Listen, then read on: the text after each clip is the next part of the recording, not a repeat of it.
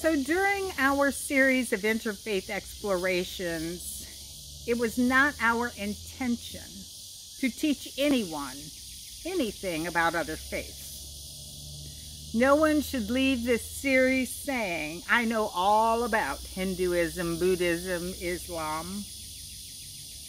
That wasn't our intent.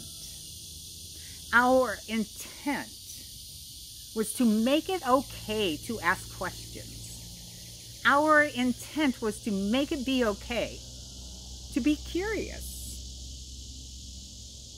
Being curious and asking questions create connections.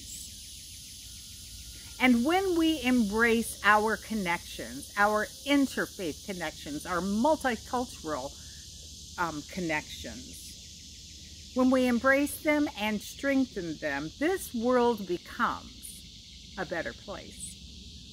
So that is the number one takeaway from the series about other faiths. And the second takeaway is about sound.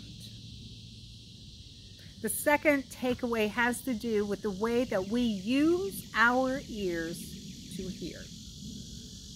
During this series of interfaith explorations, we spent a lot of time listening to, engaging with, and learning about chants.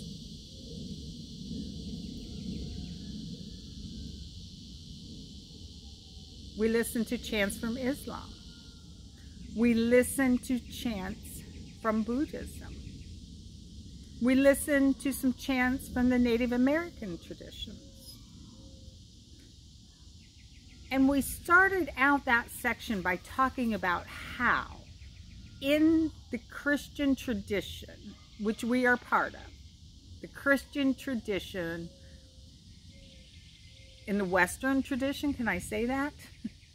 because there is an Eastern Christianity and a Western Christianity, and we, for the most part, fall into the ways of the West. In our tradition, we have been taught to listen for meaning. Listen for meaning. Other faith traditions don't do that.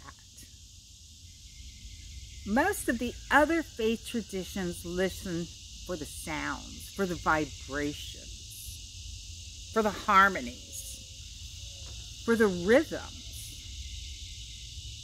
They listen in a way which allows the listener to become one with the sound. Why? Because they understand sound as a series of holy vibrations filled with the divine.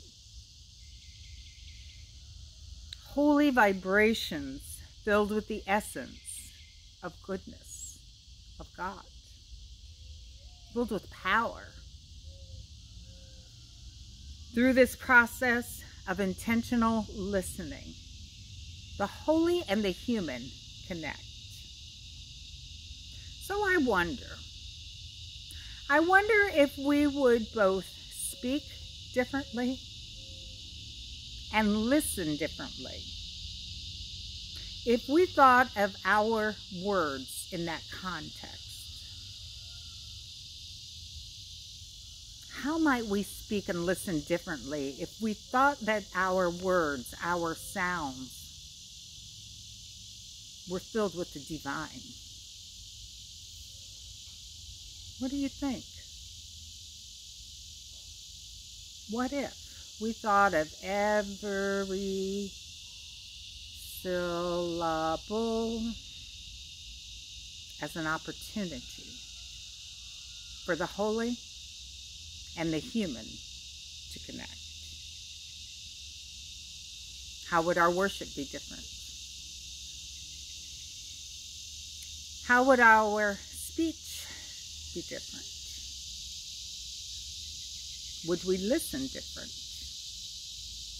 Who or what might we become?